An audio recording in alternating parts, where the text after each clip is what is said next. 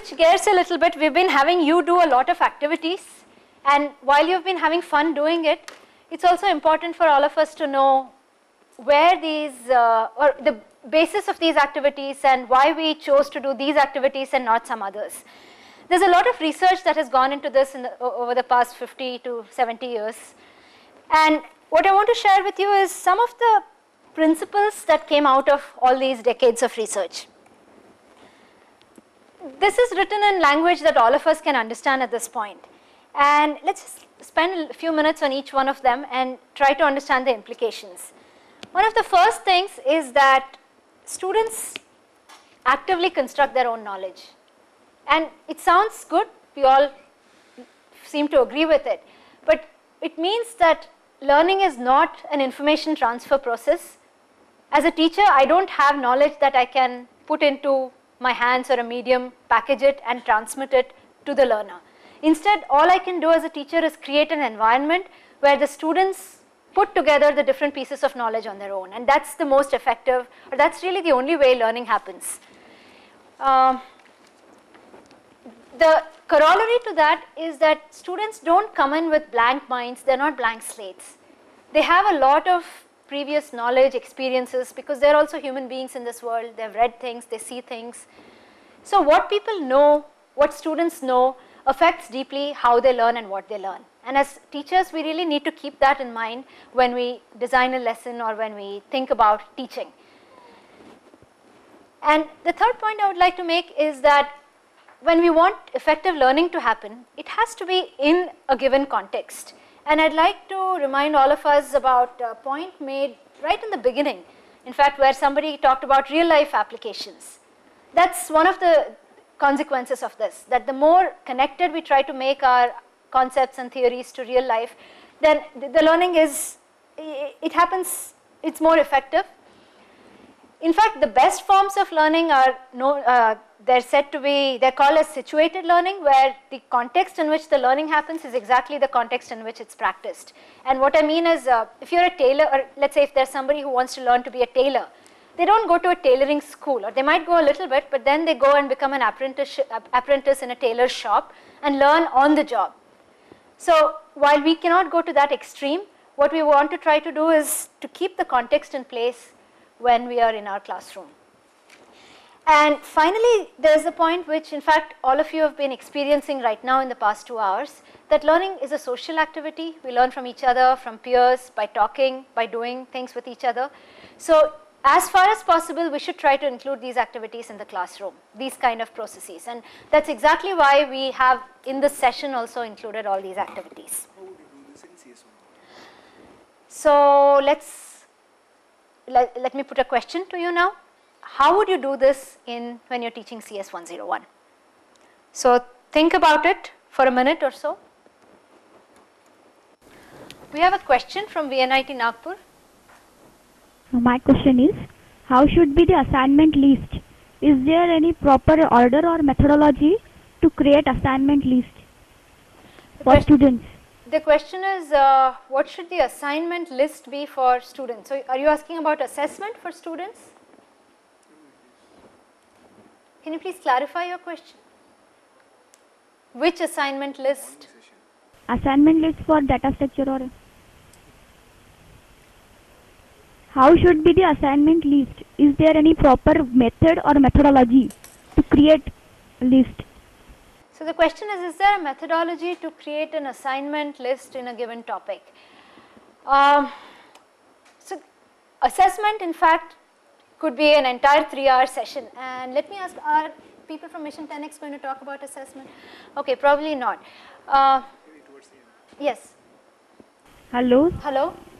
Hello, excuse me ma'am. Yes, please. I just elaborate uh, what should be the what, what should be the portion, how, how much trace will be given on assignment like a what knowledge, application like that uh, for introduction to the programming. So are you asking how, when you do assignments, we talked about different levels of questions like knowledge, comprehension, application, etc. So is your question how much of each to put in the questions and the assessment? Is that the question? Okay, that is in fact a very good and a very difficult question. And the reason is that there's no, well, there's no one definite answer. The, what they're trying to ask is we talked about different levels, increasing levels of hierarchy. When should we, or how much of each level should we, should we include?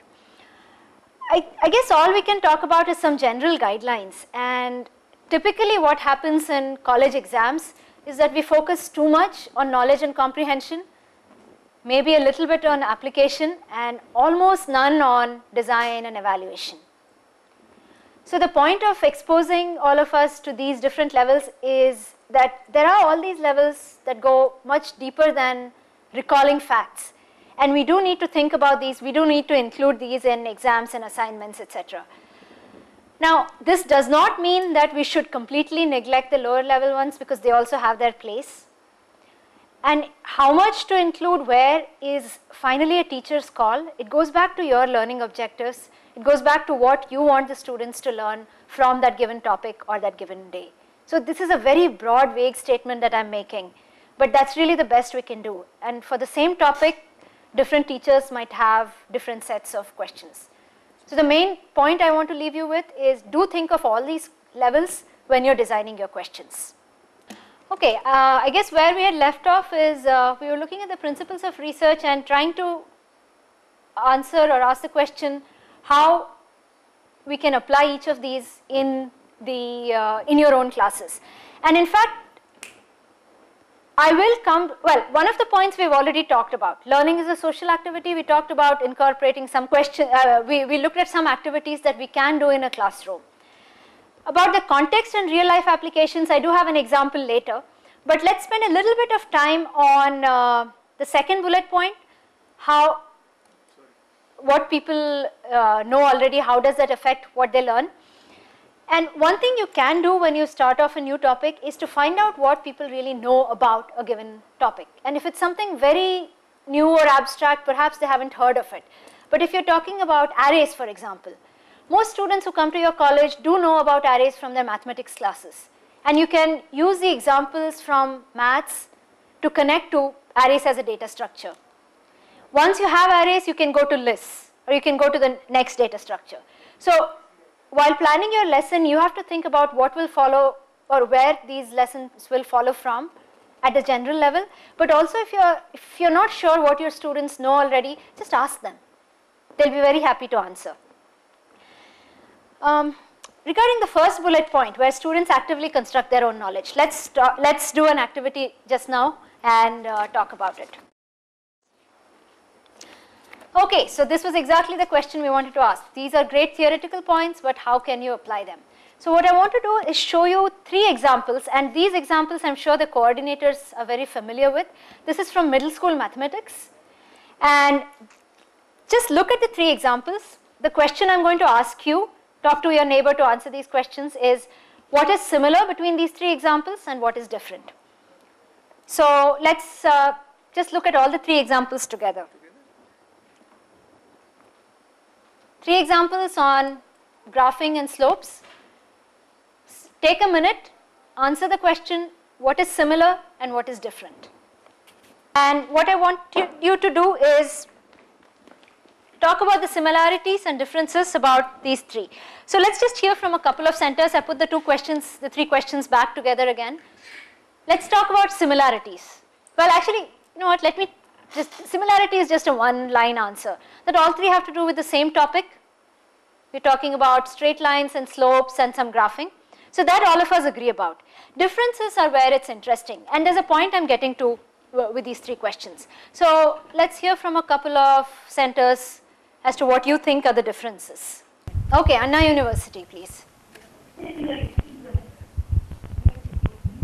Okay, the similarity is that they're all with slope. Hello? What's the difference? Hello. Yeah, similarities in slope. Yes, and the differences? All the topics are regarding the slope. What are the differences in the three Uh, examples? the differences is uh, the third one is uh, regarding the calculation. That is, we have to evaluate the third one. okay.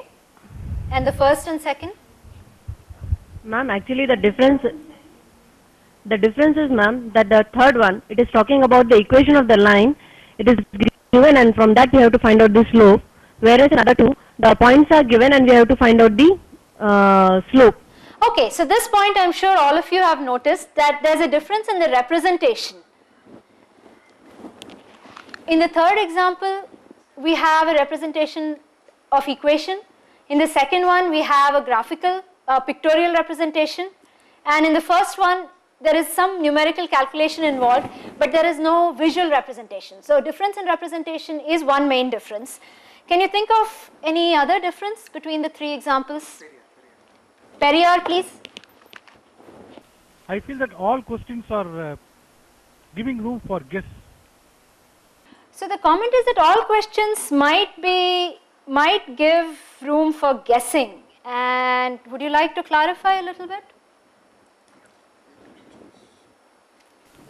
Yeah, that is, there is every possibility for the uh, person who is uh, answering these questions to choose any answer at random.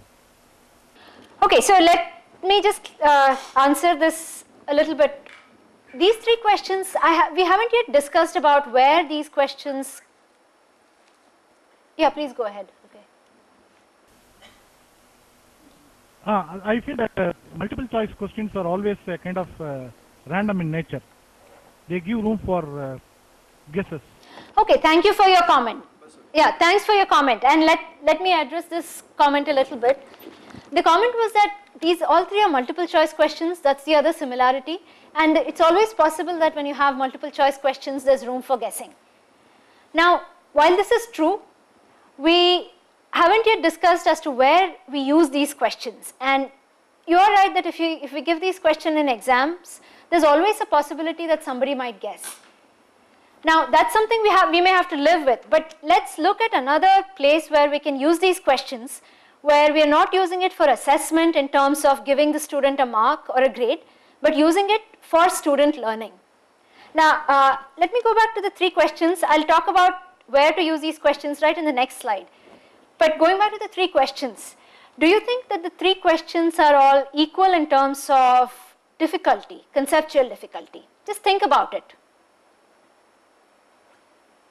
If you look at the first one, it seems to be a very straightforward application of an equation of the formula for slope given two points. The second one again as we said is in a different representation but again the points are there and you have to calculate the slope knowing the points. The third one on the other hand is a highly conceptual question and even if a student let's say a 6th or 7th standard student knows how to calculate a slope she might have to think a little bit more in terms of finding out which of these is different and which is similar to others. So when you're designing questions, you can have the same topic but different levels of questions and it will motivate different kinds of learners or it will motivate the same learner at different points in instruction. So if it's the first time you're teaching slope, you might just want to give a simple, basic, straightforward question. But after having talked about slope for a few days, you might want to give the third question where there is a lot of conceptual thinking going on. Another place where a question like number three is useful is in the class itself right after instruction.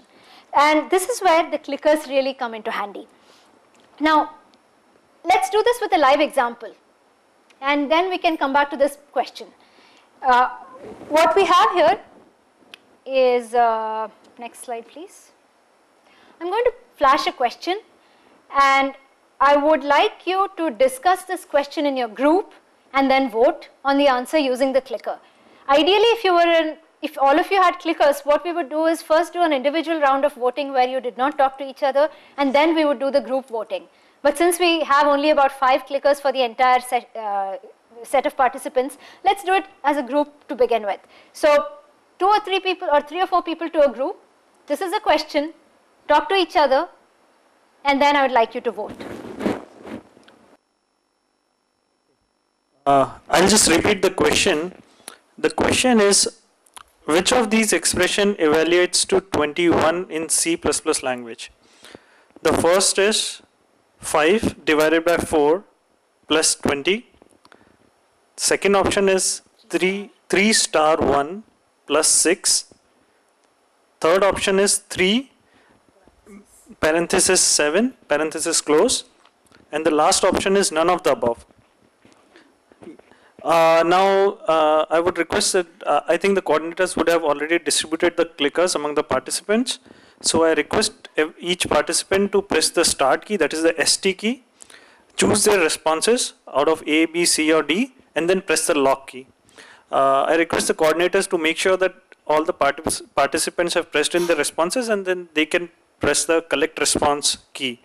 Uh, make sure they enter the quiz number seven in the application. Uh, we have received responses from six centers. Uh, you can take another minute to send in your responses.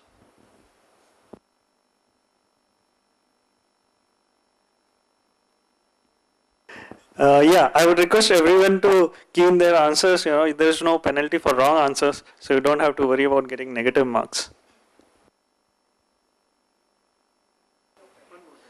I'll just repeat the question again. Which of these expression evaluates to 21 in C++ language? The first option is 5 slash 4 plus 20. Second option is 3 star 1 plus 6. Third option is 3 parenthesis open 7 parenthesis close. And the last option is none of the above. Okay, so while we are waiting for the responses to be collected, I'm sure all of you have uh, finished pressing your responses. I, I do, I want to see the responses. Or usually as a teacher, you have a few options at this point. Ideally, you would look at the distribution of responses and then decide how to proceed next. So one really useful benefit of this method is that as a teacher, you get immediate feedback as to what the students are thinking and how they're, uh, uh, or what they've understood in a given topic before, so since I haven't seen the responses yet, I don't know what the distribution would be like, but I have a question for all of you. Okay, let's look at the responses. It seems to be ready. All, all of them together.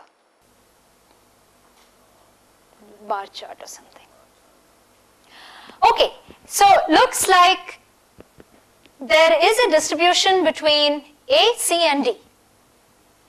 And typically you would find some sort of distribution.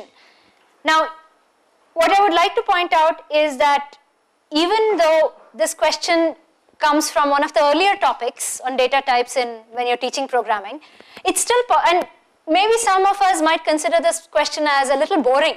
It's not a very exciting question.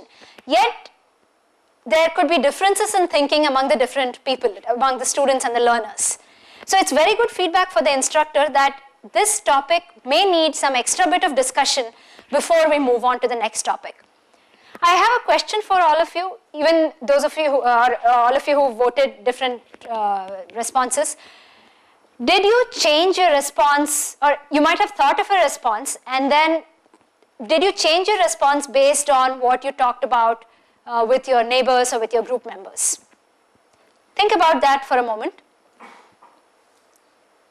And I don't have you in front of me, so I can't see you nodding.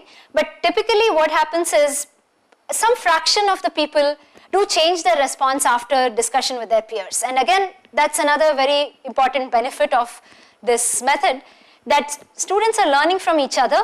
They have an idea, they can change their idea, they convince their neighbor of their idea, they learn skills of scientific argumentation, etc. So let's look at uh, some other benefits and what this method, by the way, is called peer discussion. At this point, when you do this, the classroom can get very noisy, and in fact, that's a very good thing. As a teacher, don't be afraid of chaos in your classroom. Okay, next slide. So, the, this method has been shown to work really well in terms of student understanding and student learning gains. And some of the reasons are that students are very actively in, involved. And again, in your own centers, you might have noticed that you're talking to each other, trying to argue with your neighbor, trying to convince the other neighbor, etc. And about the principle that we talked about earlier, where people construct their own knowledge, when you're trying to figure something out, and especially when you're trying to teach something to somebody, there's a lot of learning happening. You're actively constructing knowledge. Nobody told you, or a textbook did not tell you that these are the different data types and this is how it is. So when you have a question you're and you're trying to answer it, it's you as a learner who are, who's trying to construct this knowledge, and at the end of it, you'll come you'll come out of it with knowing exactly what the different data types are and how they behave under different operations. Now, even though this is an, a fairly straightforward question, it keeps the interests of all kinds of students in class. Because if you already know what's going on, here's your chance to convince your friend. Or it's possible that you think you know what's going on and your neighbor convinces you that that may not be exactly the case. So it does hold the interest of all the learners. Some other benefits we talked about, there's feedback to the instructor. So at this point, I can take a call on whether I want to go back and discuss those answers or whether I want to move to the next topic or I just want to say this is the answer and this is why it's the answer. Usually we recommend some amount of discussion where the instructor, instead of saying this is the right answer, we have the instructor call upon a couple of students or a couple of groups and ask them why they voted the way they voted, did they change their answer, what made them change their answer and so on. Uh, many students realize that they're not the only ones struggling and that's good for their morale. And it builds a friendly atmosphere in class. The noise level always helps. But at the same time, students are learning skills of scientific argumentation. So this method has been used for over a decade in uh, physics, maths, biology, ecology, and so on. He, there are some references which you which will be made available. I mean, not the references, but the links will be made available to you once this slide or these slides are put up online. Now, the other reason this is really important is that you will and you can contribute to a bank of these questions. So over 10 years in some of these topics, a huge database of these questions have been developed which instructors can use. And we are trying to do the same thing for CS101. So we're constructing this library and this is where your input comes in. So your next activity, next, next, is write one such question for any one topic in programming and we'll ask you to share your questions in a few minutes. The other thing on this slide are some uh, features of good clicker questions. Typically these are not very straightforward. They are conceptual, they are less numerical than conceptual. They are supposed to be used for in-class discussions, not really for graded quizzes. And here are some, uh, on the slide there are some possible ways of constructing these questions. For example, you can give a code and ask students to predict the output, or you can ask students to apply something in a new context and so on. So let me leave you to write this question for a minute and then you can raise your hands when you're ready. Okay, so some of you have raised your hands and you want to share some question. Uh, let's look at ASC Amritapuri.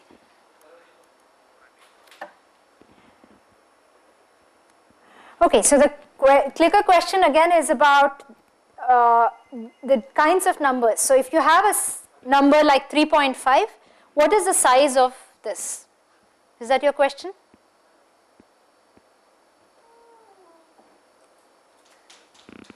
And your different choices are the 2, 4, 8 and so on.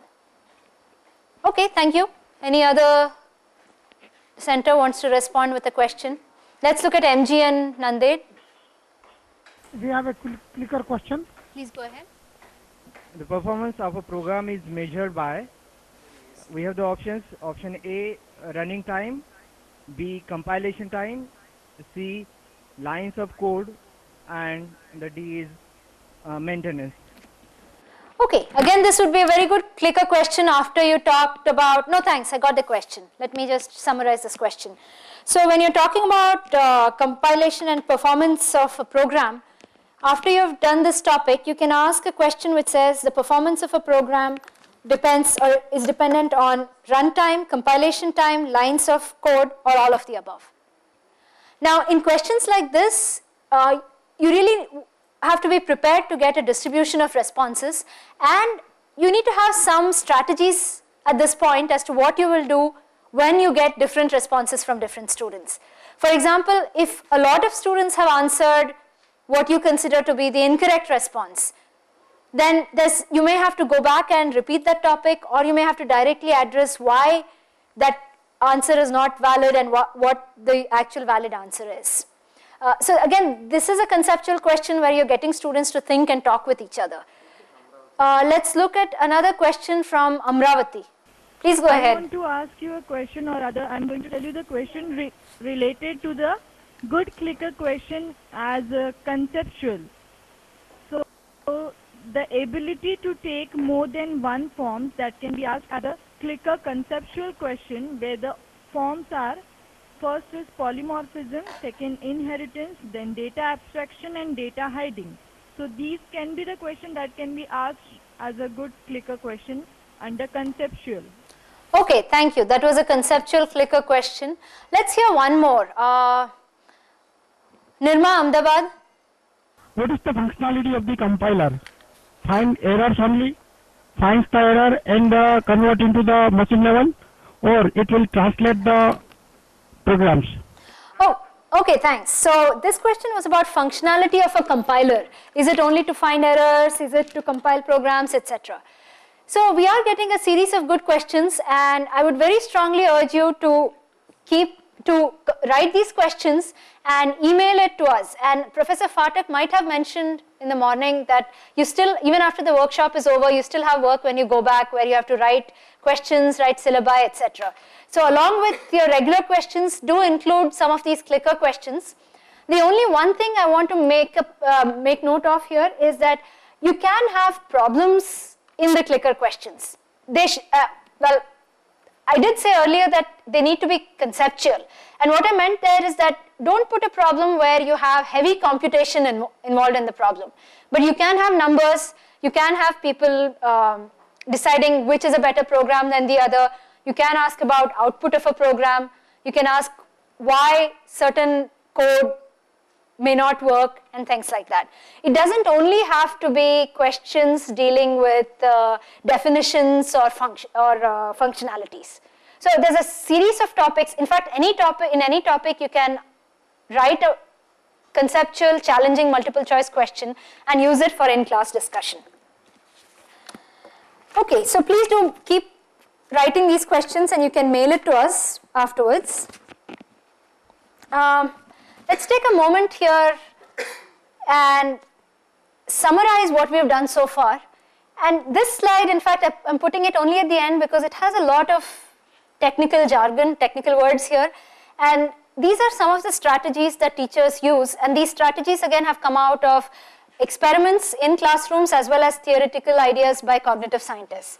So let's go through these and see if we have actually touched upon any one of these.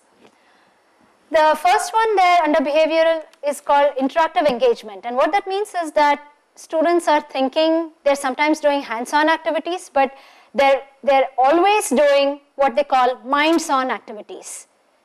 They're engaged with each other. So have we used any, have we uh, done any activity that promotes interactive engagement? That's something you want to think about. Peer discussion we already talked about.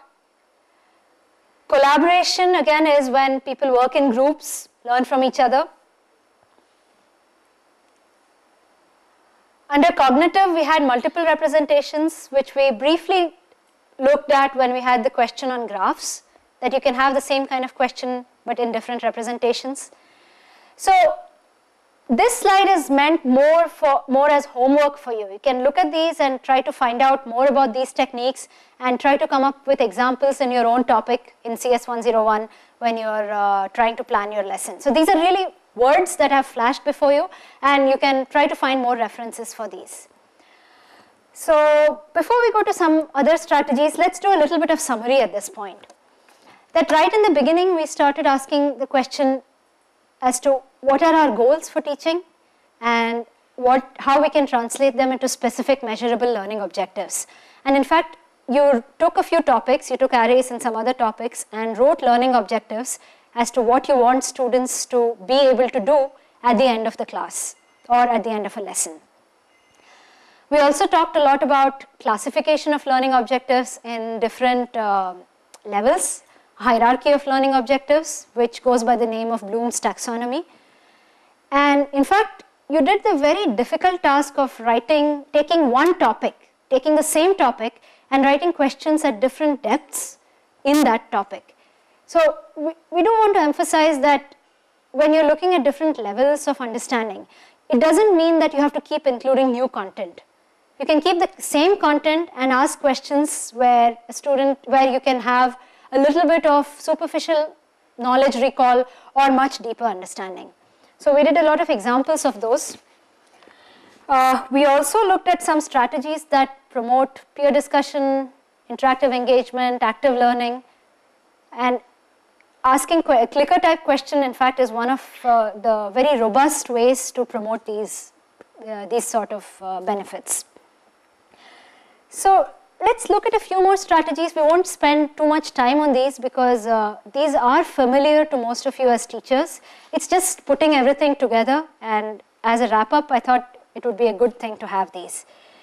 So we did talk about this aspect a little bit that when um, when you want to know what students know since they don't they don't come in with previous experiences and previous knowledge it's good to plan our lesson it's good to think about students learning based on what they know. And again that goes back to the idea of learner centric rather than teacher centric so one easy way of doing it is to really ask students. And Another way, another strategy that some people use is to use analogies to build upon what people already know. So you can take a base domain in which it could be something from everyday life where uh, people know about a certain topic and then you can extend it to the technical topic using the ideas of analogy. A completely different thing and this is something we touched upon in the first slide is that different people could learn differently. And our own personal experience is not, a, not the best guide for it because in some ways we are all very similar to each other. We are all teaching the same topic, we are all college instructors. So our experience may not be the best way. Now, we don't have an answer as to what is the best way, but we have a series or an array of strategies in front of us and getting to know students and applying what works best for them is one way to address this idea that different people learn differently. We had also asked the question as to what do students want? What are their goals? And one thing students really like if you ask them is to learn things in, or to, to relate to topics that are interesting or exciting to them. So that's because, especially because of the generational gap that could become difficult occasionally. So we can talk to them, find out what's interesting and use that as a context to talk about some of our more abstract ideas. Uh, again, going off in a slightly different direction, when we have our learning objectives, we want to think of beyond content. We don't want to be modeling problem solving skills, thinking abilities, because those are as, the skills and attitudes are as important as the content for us to teach them. And the final thing on this slide really is that whatever we do in the classroom, unless our assessment reflects it, people don't or learners won't take it seriously. So going back to the fact that students don't want to pass exams, they have to. So if our exams reflect authentic questions, if they reflect the skills and attitudes that we want them to learn, then they'll automatically take that more seriously. So the final thing here is, uh, again, I don't want to need to talk about this too much, but the last time I showed this slide to the coordinators, there was some very interesting discussion about how to make our teaching and learning more personal, how to let students know that we care. So perhaps we can just close this session by leaving this slide on and you can have a short discussion in your own session if you in your own centers if you want and you can talk to your uh, remote center coordinators as to what some of these ideas really mean. Uh, yeah, so if you want to share some of these with us, you can again raise your hand. Take a few minutes, think about all that we did in the last three uh, hours. In fact, uh, there's another slide I want to leave you with. Okay, so this was the first slide that we began with as to what will be the roadmap for today. So I'm going to repeat that first slide and leave, leave you with these questions. Have you been able to identify some strategies that you can use in your classrooms? Which ones did you like? So we can spend about 10 minutes or so taking your comments and questions and then we can wrap up today's session. If you have clicker questions, if you want to respond to that, please email it to us and we'll keep putting it in our database. Right now, let's spend a few minutes just reflecting on what strategies you learned and what you're going to use in your classrooms. Surat, SVNIT, please go ahead. Uh, Ma'am, uh, I think uh, the best strategy that we have to use is that uh, whatever the topics we have to teach, we have to correlate those topics with our real-time examples. And then we have to set some questions uh, and then we have to proceed for that. Because the real time uh, real time examples are it will be very near to the students and they can easily uh, interrelate themselves with those examples. So i think uh, we have to use real time example. Maybe in the case of array maybe in the case of pointers structure everywhere we have to use the real time uh, examples. So you want to focus, okay, thanks. So you want to focus on real life examples even when you have very abstract concepts and real life examples that are very, uh, that, that students can relate to. Yes, definitely. Next center. Yes, Indore, please go ahead. Uh, Ma'am, I want to ask uh, one question. Uh, what is a logical error and, and explain the some kind of examples with logical error. Okay, so if you have examples of actual questions, again please email it and we'll put it in our library because we are constructing this big library. There is going to be a clicker demo right after the session, so please stay and uh, as soon as we wrap up the session, which should be in a few minutes, we will have a clicker demo. Please go ahead, COEP, yes, I can hear you. Uh, the uh, the technique I will, that will be most useful is give the assignment on the existing knowledge of the student first. For example, you want to go to the looping statements. First, uh, give their assignment to write their print their name 10 times or 100 uh, 10 times first. Okay, they'll come up with uh, 10 printf statements. Then ask them to do it for 100 times then when once they'll know that there is a difficulty in doing that then introduce the next topic Okay, means thank first you. raise Yeah. the question then introduce the topic Okay, thank you. Yeah. So this is an interesting comment from COEP Pune that when you're trying to teach a new topic, you actually try to you give an assignment to students where they realize what's the problem in the old way of doing something and only then introduce the new topic which might help make this process easier. So yes, that could be one of the strategies that we follow. So um, what I would suggest at this point is that all your questions and comments do send us email and especially your questions uh, and uh, we, we will have a clicker demo at this point. So thank you everyone.